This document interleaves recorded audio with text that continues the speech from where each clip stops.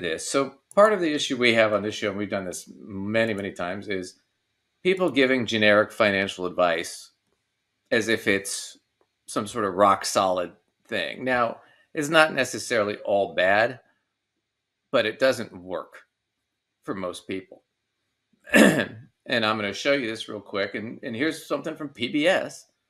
And a guy did this thing, and it was the everything you need to know about finance you can put on an index card. Oh no. and he and this he and this woman wrote a book about it. Yep. So we're gonna watch a little bit of this. We're gonna go through what he talks about, and I'm gonna show you why it doesn't make sense. But first, it There we go. couldn't get any simpler. All the financial advice you really need might just fit on a 4x6 index card. And in the next eight minutes, our economics correspondent Paul Solman will fill you in and let you know what the secret is. It's part of our weekly Making Sense report, which airs every Thursday on the News Hour. Use Fidelity's analytics to spot trends, gain insights, and figure All out right, what there's you their want. little ad. Let's skip right to the guy. Chicago Health Policy Professor Harold Pollack. So the guy's a health policy professor, and he's now he's issuing financial advice. lives in Flossmoor, Illinois, 20 miles from campus. About personal finance, until recently, he knew squat. I sort of figured it would all work out, and I didn't have to think about it too much. And so I did it. Until that is, he had to when in 2003 his mother in law died suddenly, leaving her disabled son in the Pollack's hands. The expenses of caring for someone who is quite disabled, you know, are very frightening. Uh, when Vincent moved into our home, he was about 340 pounds, and we needed to get furniture that, that would fit him. One time we had to go out and just buy a recliner, and it was something like $900. And there were hospitalizations, medical bills. Pollack needed advice. So this was all good stuff. So he basically went online, did his own research, hooked up with somebody, sort of a financial guru type. This woman here. Lane Olen over Skype. At one point, he said For the offhandedly, part, the really good advice is a can fit on a three by five index card and is available for free in the library. This time around, Helaine Olen joined virtually once again. And so they agreed on that, and they wrote a book with the index cards. I mean, that's that's the problem I have. Is that That they wrote a book. no, no, that uh, I knew nothing about personal finance. I googled some shit, and now I'm selling it as if I'm an expert. That yeah, I don't love that part. That's my problem. So let's go into some of the stuff on the card because it's not bad shit. I mean, it's, But it's she might actually have some sort of um. no. She's done some financial advising, but she's not. I don't know what her certifications are if she has any. I couldn't find anything. But let's see if we can go. They have the. He wrote them down. Let's see. We'll skip them. So rule one: strive to save ten to twenty percent of your income. Okay, yeah, not a bad idea, right? I mean, any complaints on that end? I mean, it's if you can. I I don't have an issue with that one. I mean, the percentage you can manage will be, you know, based on a lot of personal factors, but striving for savings of ten to twenty percent. Yeah, I mean, that that's been that's been sort of generic advice that's been put out there forever. forever. That's kind of always been sort of one of the things. More if you can, but Right. aiming for at least that, you know. Right. But let's say you're saving that, a lot of that's going, they get to 20%, and you're saving that for retirement and all that. And we've already discussed that uh, half of Amer- half of working Americans make 54,000 54,000 a year or less. Right? So of the 211 million working people, 106 million people make 54 grand or less. Right? So 54,000 all right, let's say they're able to save, well, we won't factor in tax, but let's say they're able to save 10%, 20%, right? So they're saving 10,000 a year, right? But what that means is 54,000 minus 10 grand, so they've got 44 um, that they saved, and then we'll factor in tax. Now they're talking about you'd have to be living off of twenty nine hundred dollars a month. So you'd have to be living below, pretty much below, almost one hundred and fifty percent of the poverty line. Yeah, but I mean, that doesn't necessarily. I haven't read their book, but to play devil's advocate, maybe they mean ten to twenty percent of your take home, not your gross. Well, but they're yeah, we could do it that way too. But let's say, but let's say we did the take home just for for safety's sake, right? And let's say you got average market return, last twenty year return is eight percent, and you did that for over thirty years. Future value you'd have one point one million dollars in savings for retirement over a thirty year period. That sounds great, right? However, if you factor in inflation, right? That's only the equivalent of about $380,000 today. And so if you factor in, okay, let's say you need that for 25 years in retirement. Um, that would be, let's see, is that correct? No. That would be $2,900 a month to live off of.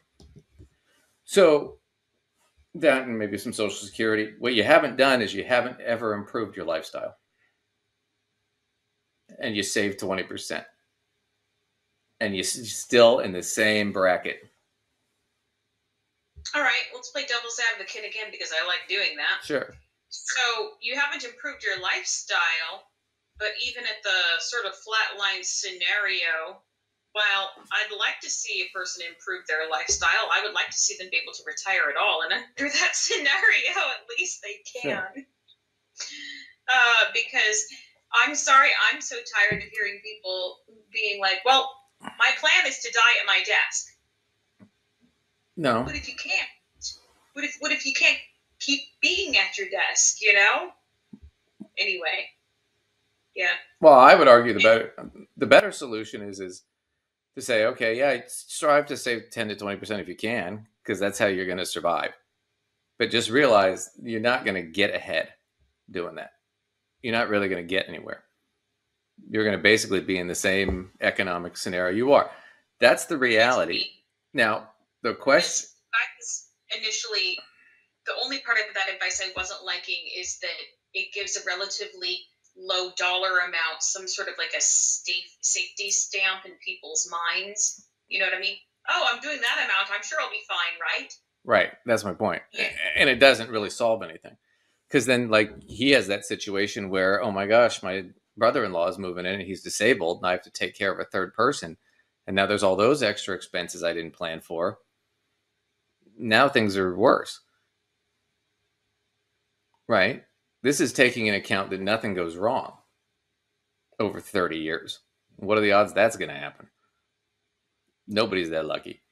Anyway, but that's my point is it doesn't solve the problem.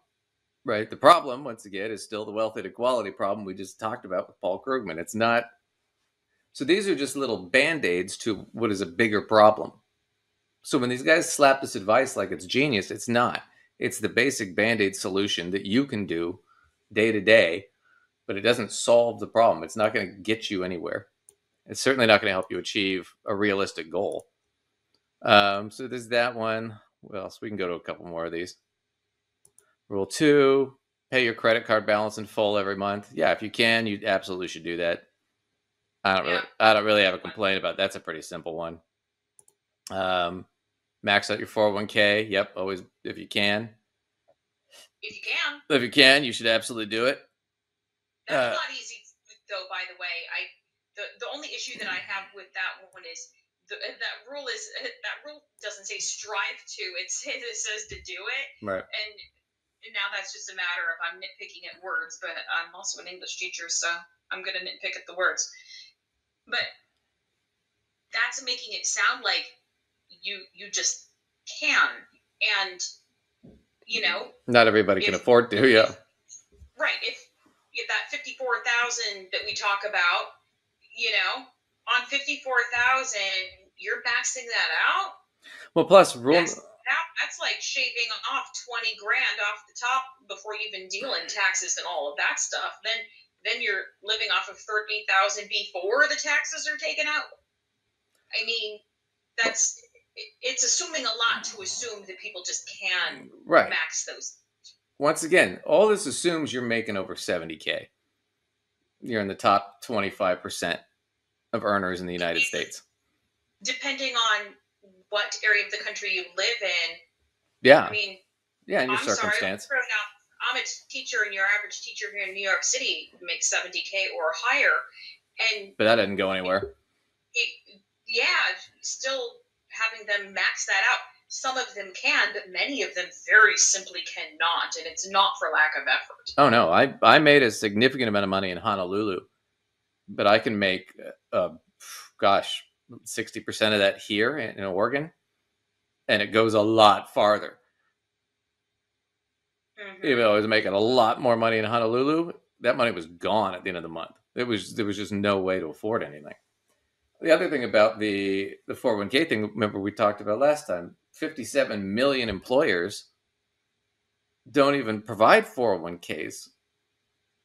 Or if they do, they especially don't match. So you're talking probably easily 100 plus million, almost half of American workers don't have a retirement plan through their work.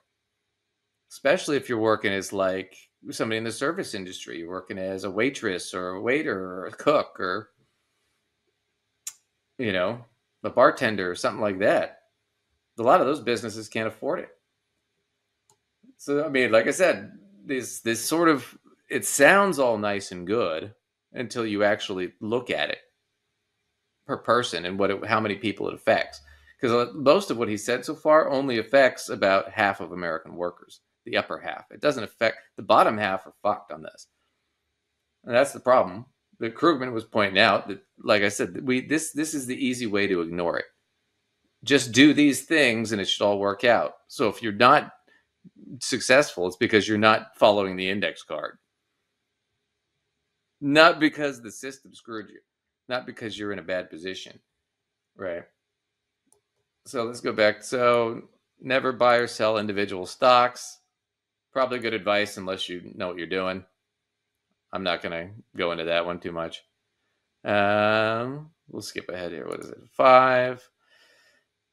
Buy inexpensive, well diversified indexed mutual funds and ETF, the exchange traded funds. Uh, first off, index funds are not diversified. They're they're tied to an index. They're, they're not diversified. So the S and P, if you buy an index, an S and P 500 index fund, it's not diversified. It's tied to the U.S. market. Whatever the U.S. market does, it's going to do.